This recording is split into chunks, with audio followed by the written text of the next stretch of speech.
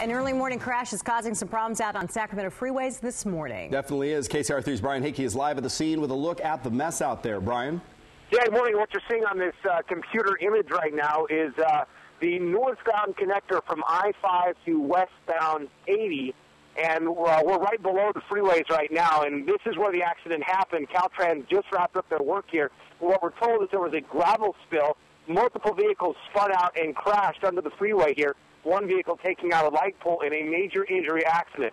The patient and cars are gone, and just in the last couple of minutes, Caltrans just finished sweeping the road. They had a street sweeper out here along with Caltrans crews with uh, shovels and brooms, literally sweeping and scraping the roadway of all the gravel and sand that was spilled here onto the freeway. Unknown where all that gravel and sand came from, but it certainly caused quite a mess here and a major injury accident and tying up the freeway this morning. The good news is, though, the Caltrans crews just pulled out of here. The street sweeper has left the area, and uh, presumably the freeway will open any second now. We'll keep you updated on that.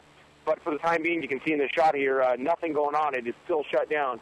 But again, uh, several Caltrans trucks have driven by me and left this area, so I think it's just a matter of minutes before this connector is reopened. We'll certainly keep you updated with Kristen Marshall and Traffic Pulse 3. But that's the very latest here on the northbound connector from I-5 to westbound 80. Back to you.